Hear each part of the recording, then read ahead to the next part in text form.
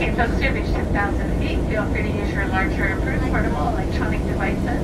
The seatbelt sign is on, so stay seated with those seatbelts fastened. So the captain feels it is safe for you to move about by turning off the overhead fasten seatbelt sign.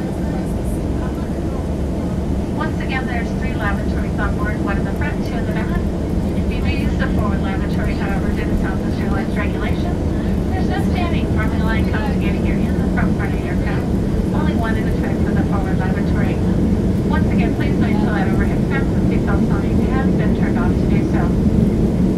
Also, folks, once it is safe for your flight attendants to be up and about, we'll begin our in-flight service.